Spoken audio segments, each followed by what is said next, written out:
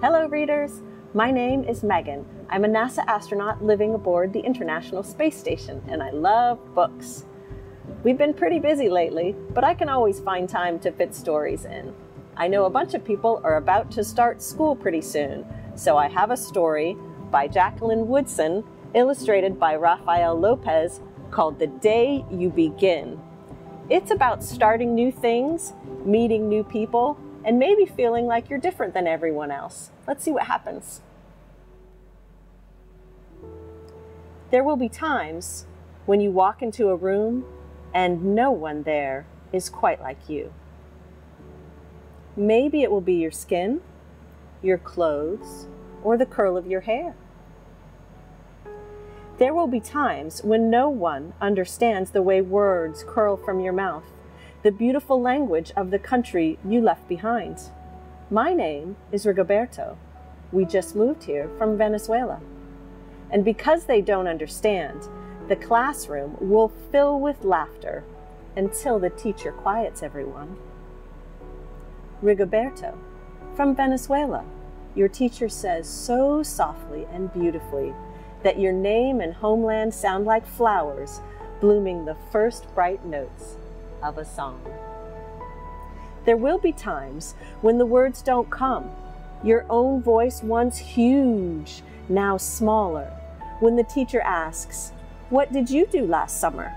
Tell the class your story. We went to France, Shayla says. These shells came from a beach in Maine a boy named Jonathan holds out a jar filled with tiny shells so fragile they look like they'll turn to dust in your own untraveled hands.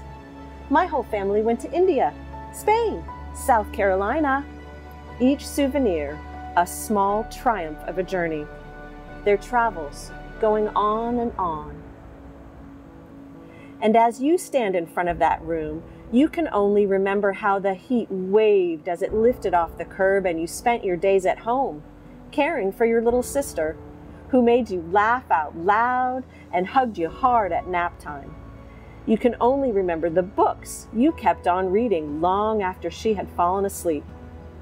And in that room, where no one else is quite like you, you'll look down at your own empty hands and wonder what good is this when other students were flying and sailing and going somewhere?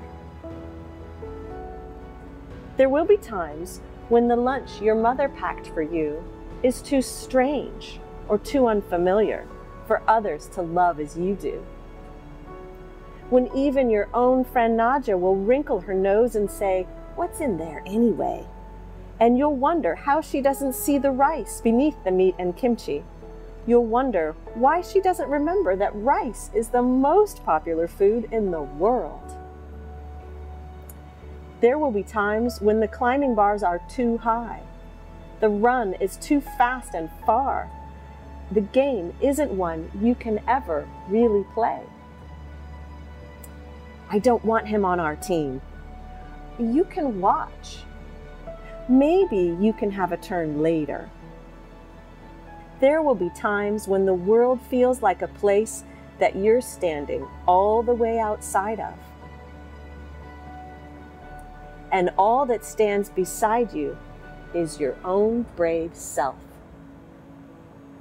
Steady as steel and ready, even though you don't yet know what you're ready for. There will be times when you walk into a room and no one there is quite like you until the day you begin to share your stories. My name is Angelina, and I spent my whole summer with my little sister, you tell the class, your voice stronger than it was a minute ago, reading books and telling stories.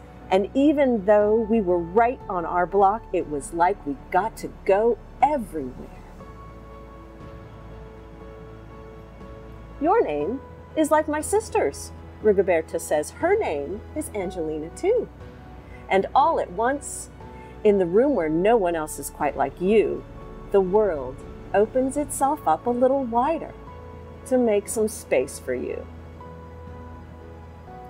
This is the day you begin to find the places inside your laughter and your lunches, your books, your travel, and your stories, where every new friend has something a little like you and something else so fabulously not quite like you at all.